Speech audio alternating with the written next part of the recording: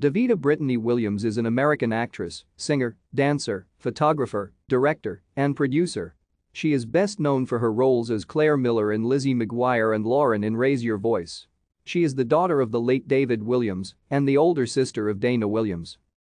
Williams grew up in Los Angeles, mostly around the San Fernando Valley. She began auditioning at age 8 and attended Louisville High School, an all-girls Catholic high school in Woodland Hills. Williams went on to briefly attend Mount St. Mary's but dropped out to move to New York City, where she worked as a junior agent at a modeling agency. It was during this time she wanted to take a break from acting. She is of mixed African American and Italian descent. Williams has appeared in a wide variety of television series including The Fresh Prince of Bel-Air, Hangin' with Mr. Cooper and Quintuplets. In 2001 she was cast in the Disney Channel original series Lizzie McGuire.